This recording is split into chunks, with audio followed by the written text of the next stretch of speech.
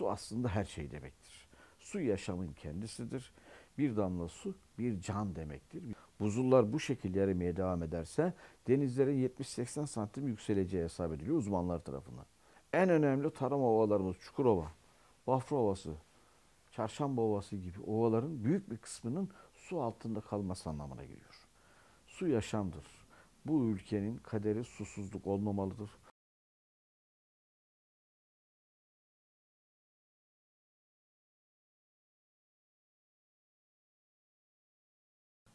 19 ee, Mayıs Üniversitesi Ziraat Fakültesi Tarımsal Yapılar Bölümü öğretim üyesiyim. Ee, tabii 19 Mayıs Üniversitesi'nde ve Samsun'da yaklaşık 38 yıldır görev yapmaktayım. Ee, aynı zamanda bu bölgede, bu bölge çiftçilerine, bu bölge insanlarına hizmet etmek ve onlara bir takım noktalarda e, rehberlik etmekten de gurur duyuyorum. Özellikle son 20 yılda sosyal konularda, daha ziyade su, küresel iklim, kuraklık gibi konularda da e, hem bölgedeki insanlar hem ülkemizdeki insanlara bazı konularda onların önüne bir ışık açabilmek, e, aydın e, formatında bir aydın olarak onlara liderlik edebilmek de en önemli hedeflerimizden bir tanesi.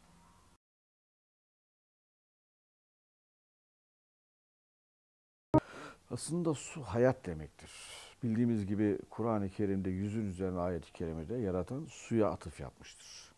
Çünkü su kainat içerisindeki yaratılan maddelerin içerisinde en önemlilerinden bir tanesidir. Su olmadan yaşamın olması mümkün değil.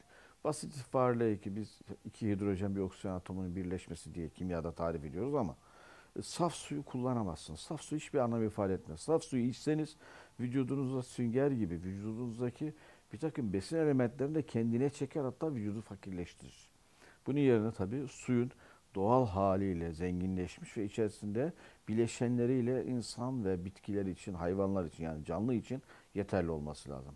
Bu anlamda baktığımızda dünyada su dediğimizde hem dünyanın enerji kaynağı yani bütün enerjiyi toplayan, depolayan hem bütün canlıların temel taşıyıcısı yani bir canlının vücudundaki tek bir zerreyi bile bir noktadan başka noktaya su olmadan iletmeniz mümkün değil. Aynı zamanda su evrensel anlamda bizim yaşam standartımızı oluşturan. Yani bir canlıda aklımıza gelebilecek hareketler, fonksiyonlar veya herhangi bir görev su olmadan yapılamaz. Kısaca bir insan sabah uyandığında su ile yüzünü yıkamaya başlıyor ve günün bütün saatlerinde su olmadan hiçbir fonksiyonu yapamıyor. Dolayısıyla su hayat demek, her demek, her şey demektir. Baktığımızda zaten dünyanın yüzde yetmişi su, insanın da yüzde yetmişi su. Tabii ki organlara göre değişiyor. Bazı organlarda daha fazla, bazı organlarda daha az. Ama bizim aklımıza gelen eklemlerimizin hareketinden tutun da konuşma melekelerimize kadar kanın içerisindeki ak yuvarların, al yuvarların taşınmasından tutun da topraktaki besin elementlerin çözülüp bitkiye taşınmasına kadar fotosentezden tutun da güneşten gelen enerjinin depolanmasına kadar her şeyi suyla yapıyoruz. O zaman ben şunu söylüyorum. Su aslında her şey demektir. Su yaşamın kendisidir. Bir damla su bir can demektir, bir yaşam demektir. Onun için bir suya canlı diyoruz. Yaşamda o her şeydir diyoruz. O nedenle suyun çok önemli ve değerli olduğunu ifade ediyoruz.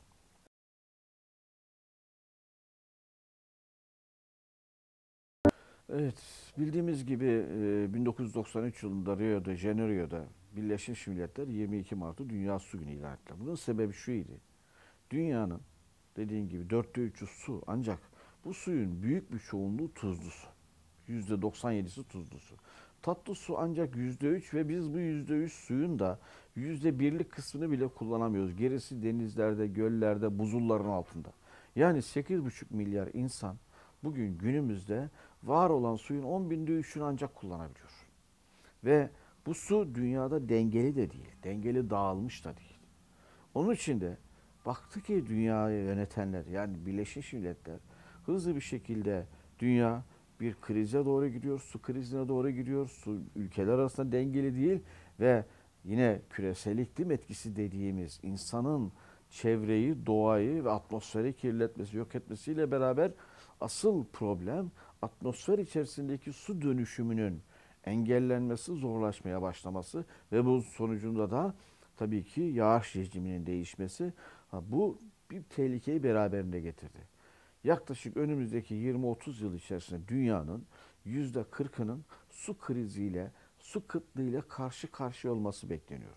Bu da yaklaşık 50 de ülkenin üzerinde ülke demektir. Zaten şu anda var olan bir takım ülkeler arasında su zenginliği ve fakirliği sınırına göre var olan krizler var. Ama buna bağlı olarak bir de gelen küresel iklimin etkisinde oluşan kriz eklenince ister istemez dediler ki bu noktada bir duyarlılık oluşmalı ve insanlar önce suyu tanımalı, suya sahip çıkmalıyız. Sürdürülebilir bir su hedefiyle 93 yılında Rio de Janeiro'da Birleşmiş Milletler harekete geçti. Aksi takdirde çocuklarımıza ve torunlarımıza suyu taşımamız mümkün değil. Her gün suyu kirletiyoruz, yok ediyoruz. Bunun sonucunda da atmosfer içerisindeki dönüşümü de yok ediyoruz. Bu neyi getiriyor? Aslında e, bizim yağış rejimimizi değiştiriyor. Bir bakıyorsunuz yağmurun yağmaması gereken yağmur yağıyor. Veya yağmurun yağması gereken zamanda kuraklık yaşıyoruz. Çünkü şöyle düşünelim. İki bardak elinize alın. Bir bardakta temiz su olsun, bir bardakta kirlettiğimiz su olsun.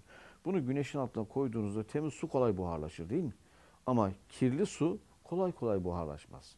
O halde biz de aslında suyu yok etmiyoruz. Ama atmosfer içerisindeki suyu kirleterek, dışarıdan müdahale ederek o dönüşümünü, buharlaşmasını yavaşlattığımız için fonksiyonlarını yerine getirmesini önlüyoruz.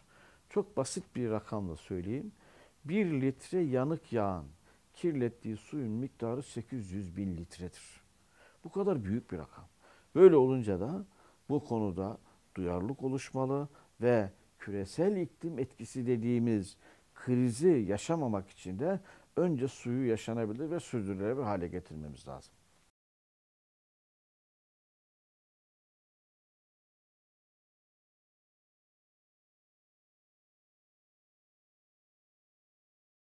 Şimdi aslında küresel iklim değişimini herkes ifade ediyor. Çok basit tabirle şöyle ifade edeyim.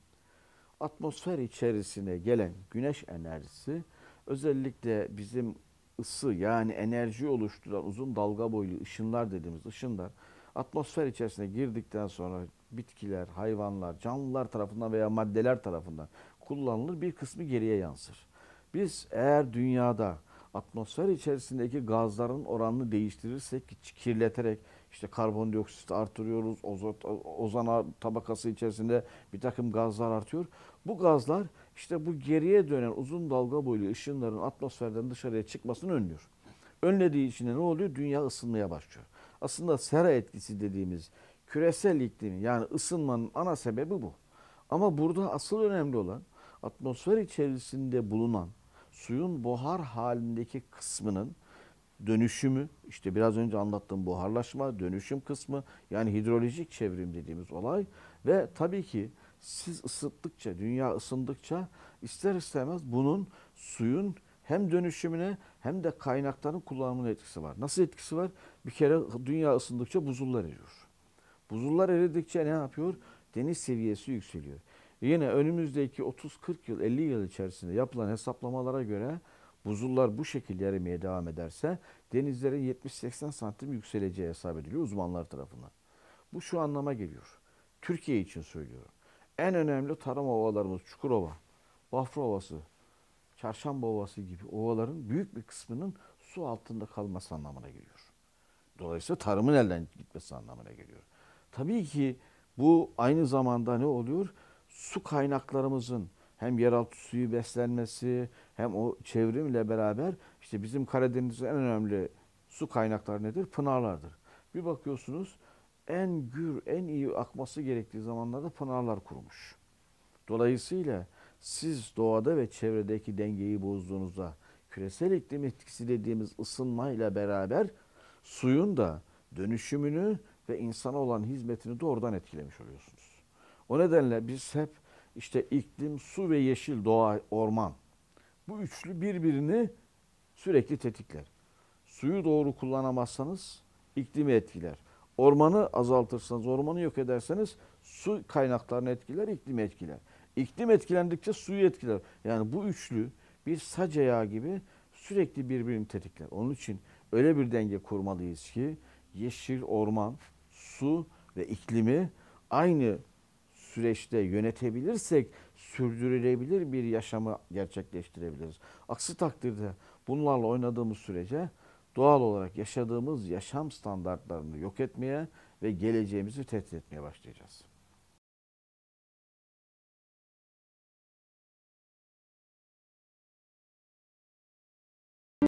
Şöyle söyleyeyim, e, bildiğiniz gibi biraz önce de ifade ettim. Dünyanın büyük bir kısmı su ama kullanılan su miktarı oldukça sınırlı ve dünyada su dağılımı dengesiz. Türkiye'nin içinde bulunduğu kuşakta da çok ciddi anlamda bir su krizi var. Bütün Akdeniz kuşağı, bizim işte güneyimizde ve kuzeyimizdeki ülkeler, doğumuz, batımız tamamen su krizi olan ülkelerle dolu. Bu kuşakta bu problem var. Türkiye yıllarca su zengini olarak bilindi. Bir ülkenin su zengin olabilmesi için kişi başına suyunun 8 bin metrekübün üzerinde olması lazım. Su fakiri diyebilmemiz için de 1000 metrekübün altında olması lazım. Peki Türkiye'de şu anda durum nedir? 112 milyar metreküp suyumuz var. Bunu 85 milyona böldüğünüzde kişi başına yaklaşık 1300 metreküp düşer. Bu da 8000 metreküpün çok altında. Demek ki su zengini değiliz. Peki su fakiri miyiz? E 1300 metreküp su fakirliği sınırında demektir. Aslında su krizi yaşayan ülke demektir. Türkiye'de de dünyada olduğu gibi bölgeler arasında su farklılığı var. Karadeniz biraz daha zengin. Doğu Anadolu belli bölgeler işte Dicle ve Fırat'tan dolayı zengin. Ama Orta Anadolu, Ege, Marmara fakir. Ve şu anda Ege, Marmara, İstanbul, Tekirdağ, Trakya buralar su fakirliğine girmiş durumda. Buralarda kişi başına su miktarı 1000 metreküpün altına düştü. Dolayısıyla Türkiye su zengini değil, su fakirliği sınırında olan ve belki 20-30 yıl içerisinde nüfus bu hızla artışa devam ederse 1000 metreküpün altına toplamda da düşecek olan bir ülke. O nedenle Türkiye'deki su kaynaklarının kullanımı tamamen bu perspektifte ele alınmalı. Biraz önce ifade ettiğim 112 milyar metreküp suyumuz var. Bu suyumuzun yaklaşık şu anda 55 milyar metrekübünü kullanıyoruz. Peki 55 milyar metrekübü nerede kullanıyoruz? %70-75'ini tarımda kullanıyoruz. Geriye kalan %25'ini işte %12-13'ünü sanayide, %12-13'ün 15'ini zaman zaman değişiyor. Evsel kullanımda tüketiyoruz. Peki tarımda kullandığımız suyu doğru kullanabiliyor muyuz? Asıl problem burada.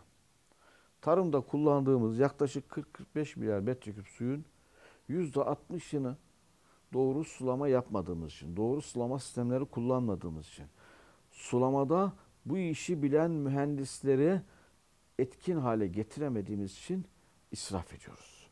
Yani yaklaşık 25 milyar metreküp suyu boşa akıtıyoruz. Bu da ne demektir? Türkiye'deki 70-85 milyon insanın bir buçuk yılda evde ve sanayide kullandığı sudan fazla suyu biz tarımda israf ediyoruz. Artık ülkeyi yönetenler de bunun kıymetini anladığı için bildiğiniz gibi geçen sene 22 Mart'ta bir su şurası toplandı Sayın Cumhurbaşkanımızın önderliğinde ve iki gün önce Sayın Cumhurbaşkanımız tarıma destekle ilgili çok ciddi bir açıklama yaptı. Bu açıklamanın ana nüvesi neydi? Tarımda özellikle suyu doğru kullanacak. Sistemler desteklenecek. Kapalı sistemler ön plana çıkarılacak ve buna yönelik destekler artırılacak. Bunlar sevindirici tabii. Ama dediğim gibi biz israf konusunda Türkiye'nin önünde çok ciddi kriz oluşmuş durumda ve bu konuda da duyarlılığı maalesef hala sağlayamadık.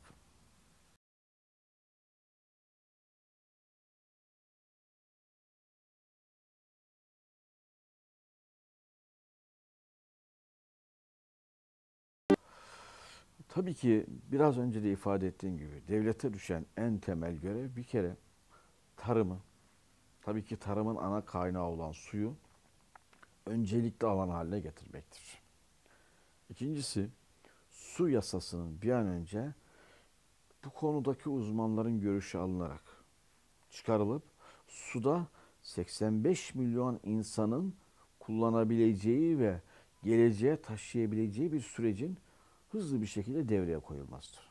Türkiye'de 30'a yakın kurum su ile ilgili ama ciddi bir koordinasyonsuzluk var. Bu koordinasyonun mutlaka sağlanması gerekir. Bunun için de bu koordinasyonun sağlanması için de en güzel örnek bu pandemi dönemidir. Biz pandemide başarılı olmuşsak nasıl başarılı olduk? Bildiğiniz gibi bir pandemi kurulu kuruldu bilim adamlarından ve bunlar sürekli görüşlerini geliştirerek ne yaptılar? Bakanlar görüşmediler. Onlar da bakanlıkta işte bakanlar kurulunda görüşülerek uygulamaya konuldu. Ama bilimsel verilerle ortaya konuldu. Türkiye'de de Sayın Cumhurbaşkanımızın tensipleriyle Tarım Bakanlığı'nın önderliğinde bir su ve çevre bilim kurulu oluşturulmalı ve bu sürekli Türkiye'nin hem günlük problemlerini hem de kurumsal politikalarını ön plana koyarak özellikle bilimsel verilerle analiz edip çözümler üretmeli. Devletimizin temel olarak yapacağı ana noktalar bunlar. Tabii ki bizim yerel yönetimlerimiz bu noktada çok önemli fonksiyon üstlenmeli. Bilim kurulu ya da su kurulunun koyduğu politikalar çerçevesinde bunlara ters düşmeme kaydıyla yerel yönetimler artık taşın altına elini değil gövdesini koymak zorunda. Yani suyu doğru kullanmayı ve suyu tasarruflu kullanmayı öğretecek sistemleri geliştirmeli ve uygulamaya koymalı. Bunun için de belediyeler öncelikle kendi su kullanımı ile ilgili işte park bahçelerdi, araç yıkamaydı, çevreyle ilgili çalışmalardı. Buralarda yağmur suyu tasarrufu, su hasadı gibi konuları güncel çalışmalar haline getirip bu konuda gerekli destekler alarak oralarda bir kere mevcut suyu değil hasat sularını kullanmayı öğrenmeli. İkincisi tabii ki belediyeler vatandaşa suyu daha tasarruflu nasıl kullanabilirizin altyapısını oluşturmalı. Bakın burada bir örnek vermek istiyorum. Yıllar önce Avusturya'da bir kente girdi. Girişinde belediye bir tabela hazırlamış. Tabelada 10 yıllık süreçte şehrin nüfusu yazılı. Karşısında da her yıl o şehirde tüketilen su yazılı. Şehrin nüfusuna baktığımızda her yıl nüfus artmış ama her yıl tüketilen su azalmış. Altına da belediye başkanı şöyle bir not düşmüş. Benim bu şehirdeki belediyecilik başarım bu şehirdeki insanlara su kullanmayı öğretmekten geçmektedir. İşte bir yerel yönetim bakışı ve mantığıdır. Dolayısıyla ikinci ve bence en önemli nokta yerel yönetimlerin bu konuda gerekli tedbirler alacak kurumsal yapıyı oluşturması ve mutlaka çözümler üretecek çalışma yapması. Çünkü vatandaş da birebir tabii ki devletinin, kamunun, üst yönetimin koyduğu ışık veyahut da politikalar çerçevesinde birebir muhatap olan yerel yönetimler. Vatandaş olarak hepimizin çok büyük sorumlulukları var.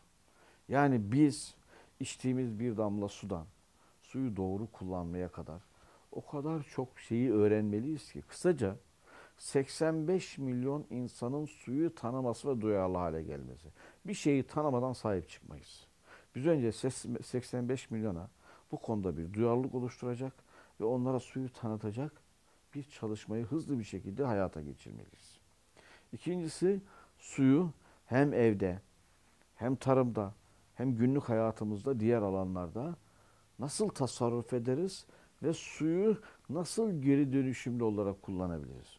Suyu kirletmeden, çevreyi, doğayı kirletmeden nasıl sürdürülebilir hale getiririz? Bunları vatandaşa öğretmek ve anlatmak zorundayız.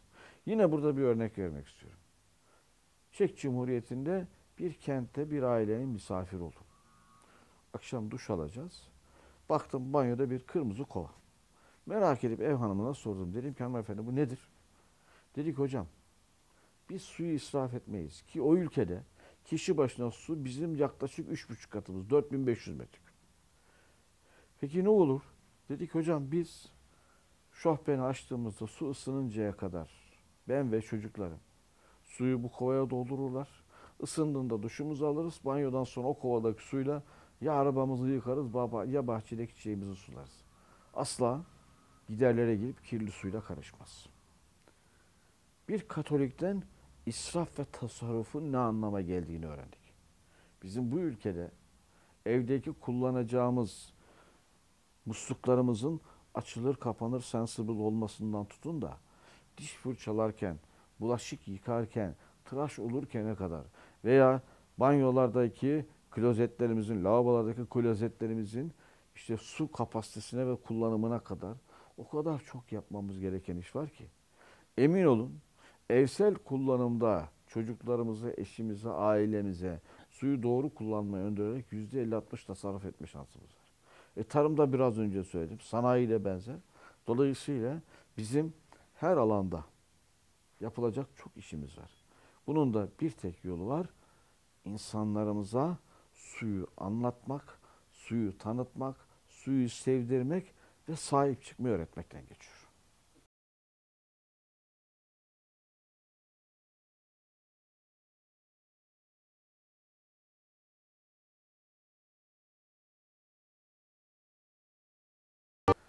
Bildiğimiz gibi küresel iklimin etkisi dünyada son 10 yıldır çok tartışılıyor ve hızlı bir şekilde ülkeler yaşıyordu. Geçen sene de Türkiye ciddi anlamda bir kuraklık riski yaşadı. Ancak Ocak ayından itibaren ülke olarak aldığımız yağışlar sevindirici. Özellikle kar yağışı, kar suları, dağların üzerine düşen kar bunlar yeraltı suyunu besleyici nitelikte ve yeraltı suyu noktasında da bir umut ışığı doğdu. Sevindirici bir süreç. Şu anda barajlarımız dolmuş durumda. Doluluğa yakın oranda barajlar doldu ve iyi gidiyor. Ancak tabii bu sürecin devamının da aynı şekilde sürmesi lazım ki sürecin kontrol edilmesi mümkün hale gelsin. Yani ben hep şunu söylüyorum. Bir ayda bir yılda düşecek yağışın yağması değil. Yağışın doğru zamanda ve düzenli ve sürekli halde düşmesi en önemlisidir. Zaten küresel iklimin önemli etkisi odur. Yoksa geçtiğimiz yıllarda da yıllık düşen yağışta çok fazla farklılık yoktu. Ama bir bakıyordunuz bir ayda düşecek yağış bir saatte düşüyordu. Bu sene bu biraz daha dengeli gidiyor. Tabi bu süreç bir başka hem umut ışığı doğuyor hem tehlikeyi beraberine götürüyor. Acaba işte Nisan sonu, Mayıs, Haziran, Temmuz aylarında bu süreçte bir kırılma olur mu? Böyle bir tehlike de var, yok değil. Ama bizim asıl önemli olan burada bu sene durum iyi gidiyor diye rehavete kapılmamazdır. Toplumsal olarak şöyle bir hastalığımız var bizim. Kuraklık var hep beraber eyvah öldük bittik başlıyoruz kampanyalara. Yağmur yağdı tamam kuraklık tehlikesi geçti. Herkes unutuyor. Bu değil. Uzun yıllar itibariyle süre gelen ve bunun önümüzdeki 20-30 yıllık süreçte bizi etkileyeceğini bilincinde olarak her gün daha büyük tehlikenin karşımıza çıkacağı birinci olarak biz bir kere suyun, yağışın bol olduğu zamanda suyu doğru kullanmayı, doğru geleceğe taşımayı öğreneceğiz ki problem olduğunda da problemin çözümlerine hazırlıklı olun. Aksi takdirde problemi yaşadığınızda çözemezsiniz. Asıl benim endişem, bakın geçen sene Türkiye'de bütün kurumlar 22 Mart Dünya Su Günü'ne gelirken konferanslar düzenlediler, bir araya geldiler. Hatta büyükşehir belediyeleri deklarasyonlar yayınladı. İşte biz e, Sayın Cumhurbaşkanımızın önlerinde bir su çalıştayı yapıldı, ilk su şurası yapıldı vesaire. Bu seneye bakıyorum, çıt yok. Asıl tehlike bence burada. Bizim bu işi sürekli yapmadığımız, sürekli hale getirmediğimiz ve duyarlı oluşturmadığımız sürece yarın meydana gelecek kırılmalarda problemi çok daha sert yaşamamız mümkün. Onun için de biz suyu sürdürülebilir ve sürekli yaşamın ana ögelerinden biri görüyoruz. O nedenle evet bu yağışlar güzel. Bu seneki süreç bizi umutlandırıyor. Kış kuraklığı noktasında ama bu yaz kuraklığının olmayacağı anlamına gelmez. İnşallah olmaz. Çünkü bu sene tarımsal üretimde de çok ciddi sıkıntı var. Bildiğimiz gibi hem ekonomik şartlar hem savaş şartları Türkiye'deki tarım arazilerinin büyük bir kısmının ekilmeme riskiyle karşı karşıya bıraktı şu anda. Vatandaşın ekonomik gücü onu ekecek durumda değil. Bir taraftan da kuraklık riski, bir taraftan yağışların tarlaları ekme noktasındaki süreci etkilemesi gibi sıkıntılar aslında başka tehlikeyi beraberinde getiriyor. Ama su ve su kaynakları noktasında bu seneki gidişatımız fena değil. O zaman biz bu seneden seneye bu problem oluştuğunda çözümleri üretmeli, tartışmalı ve ona göre hazırlıklı olmalıyız ki geleceğe hazır hale gelelim. Evet ben teşekkür ediyorum. Özellikle bu vesileyle bizi dinleyenlere şunu söylemek istiyorum. Su yaşamdır. Bu ülkenin kaderi susuzluk olmamalıdır.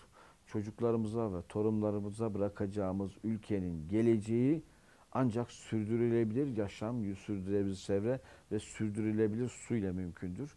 Bir damla su bir can demektir. Bu bilinçte herkesi suya sahip çıkmaya davet ediyorum. Teşekkür ediyorum.